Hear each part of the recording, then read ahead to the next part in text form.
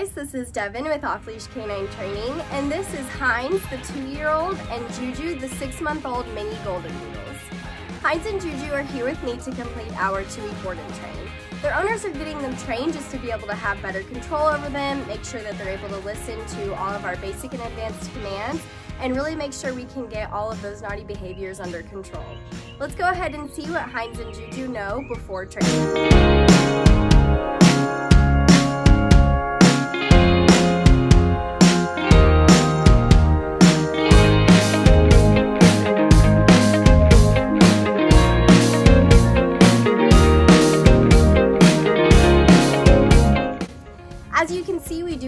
Lot of work to do with Heinz and Juju, but I am so excited to spend the next two weeks with them.